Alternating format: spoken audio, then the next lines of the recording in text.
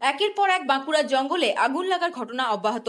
সম্প্রতি শুশুনিয়া পাহাড়ে আগুন লাগার ঘটনা দিয়ে যা শুরু হয়েছিল তার দক্ষিণের জঙ্গলমহলে সারেঙ্গার পর, এবার সোনামুখীর জঙ্গলে একই ঘটনার পুনরাবৃত্তি হলো।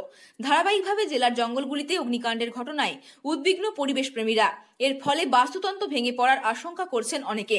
এমনকি এই ঘটনার পেছনে চোরা শিকারীদের হাত থাকতে পারে বলেই বিশেষজ্ঞ মহলের একাংশে ধারণা। স্থানীয় সূত্রে খবর শনিবার সন্ধ্যায় সোনামুখী জঙ্গলে প্রথম আগুন দেখা যায়। রাতের দিকে তা ভয়াবহ আকার নেয়। খবর দেওয়া হয় বন দপ্তরে বনকর্মীরা দ্রুততার সঙ্গে ওই আগুন নেভাতে উদ্যোগী হন। শেষ পাওয়া খবর পর্যন্ত আগুন নিয়ন্ত্রণে আসেনি। তবে এই ঘটনার পেছনে কে বা কারা যুক্ত, বিষয়টি এখনও স্পষ্ট নয় কারও কাছেই।